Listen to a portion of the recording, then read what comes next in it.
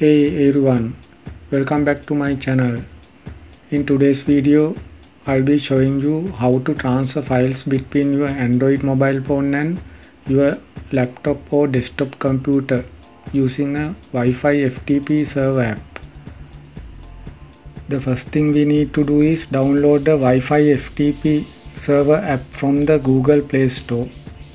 There are several apps available, but for this tutorial I'll be using Wi-Fi FTP server app.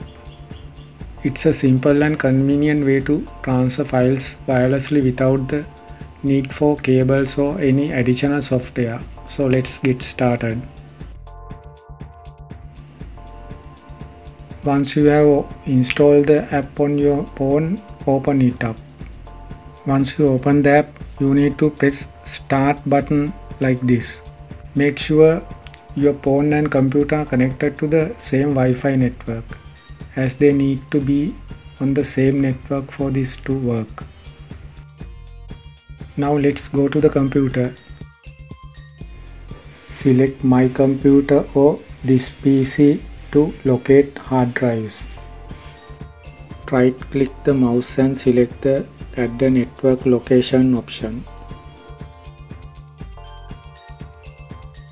Click next and enter the network address which is displaying in the mobile starts with FTP.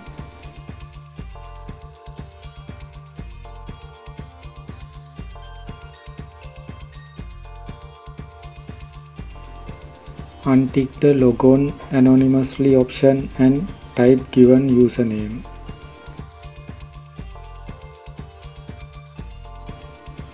Press next and finish.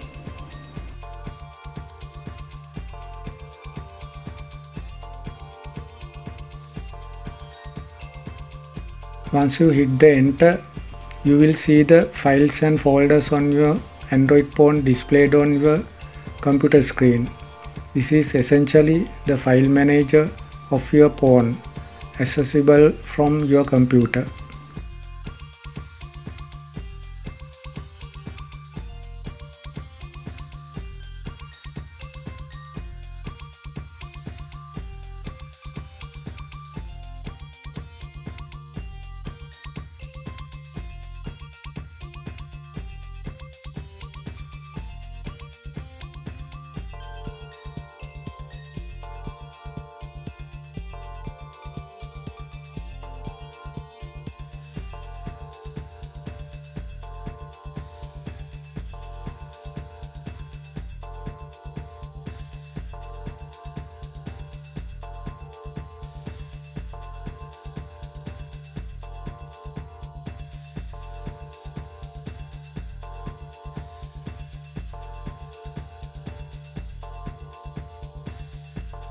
From here you can simply drag and drop files between your computer and your phone.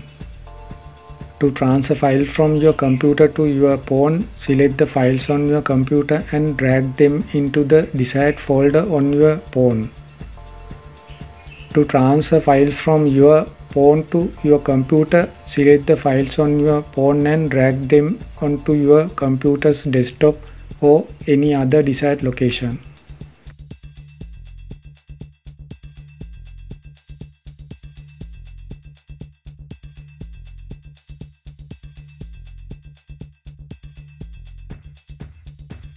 That's it. You have successfully transferred files between your Android phone and your computer using a Wi-Fi FTP server app.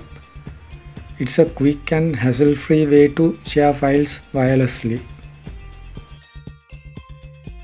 I hope you found this tutorial helpful. If you did, please give this video a thumbs up and consider subscribing to my channel for more tech related content.